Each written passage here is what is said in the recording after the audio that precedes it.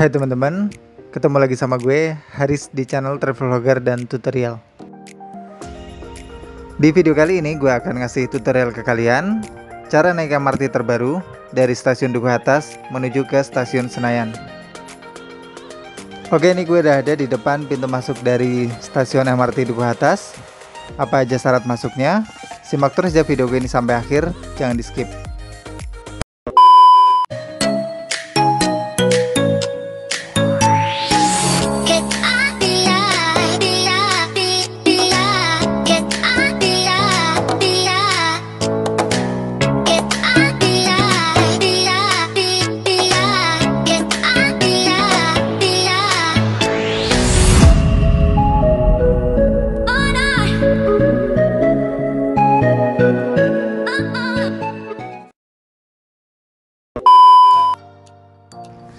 Yang pertama kalian harus buka aplikasi peduli lindungi di handphone kalian Scan barcode dan tunjukkan hasil check-in ke petugas yang ada di depan ini.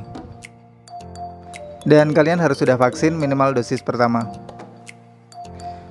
Di depan ini ada pemeriksaan tas ya, jadi tas kita harus diperiksa sebelum memasuki stasiun MRT Selanjutnya siapkan kartu bank kalian dan tempelkan di gate sampai gate-nya terbuka. Kalian bisa gunakan kartu bank seperti e-money, flash, Freezy, tapi kas dari BNI, kartu MRT dan juga bisa menggunakan kartu Jaklingko. Untuk sampai di peron MRT, kalian harus turun satu lantai lagi. Dan akhirnya kita udah sampai ya di depan uh, peron MRT, tempat kita nunggu keretanya.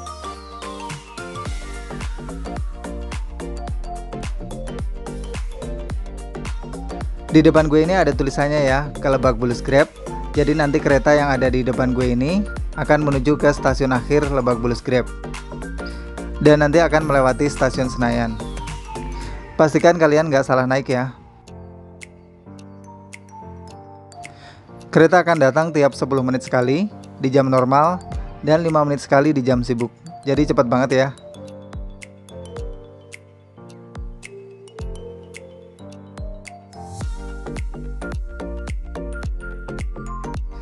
Oke keretanya udah datang ya dan gue akan siap-siap buat naik ke dalam keretanya. Sebelum memasuki MRT kita harus mempersilahkan dulu ya buat yang mau keluar terlebih dahulu.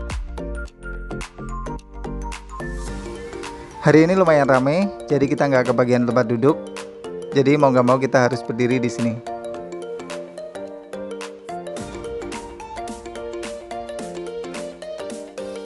Selama di dalam kereta kita juga nggak boleh berbicara ya, baik secara langsung maupun melalui sambungan telepon. Kita juga dilarang makan dan minum selama ada di dalam rangkaian kereta.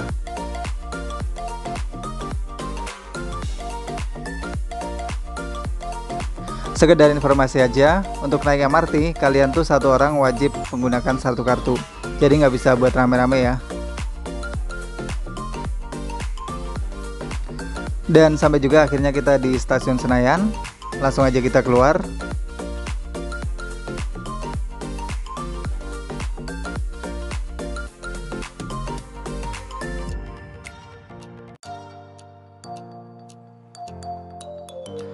Untuk keluar dari stasiun MRT, kita harus naik dua lantai ke atas.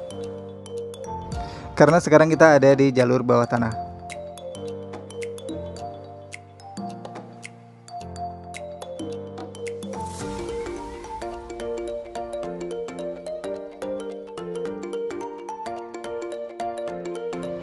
Selanjutnya siapkan kartu bank kalian dan tempelkan di gate sampai gate-nya terbuka.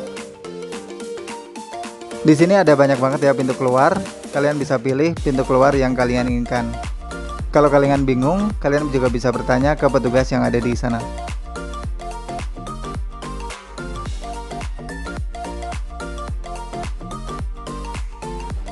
Dan sampai juga akhirnya kita di luar dan di depan itu kita langsung terhubung dengan JPO Senayan. Dan di arah sebaliknya, kalian akan terhubung dengan JPO GBK. Oke, thank you banget yang udah ngikutin petualangan gue hari ini. Tutorial naik MRT terbaru dari stasiun MRT Dukuh Atas menuju ke stasiun MRT Senayan. Mudah-mudahan informasi yang gue sampaikan ini bermanfaat ya buat kalian. Dan sampai ketemu lagi di tutorial gue berikutnya. Dadah.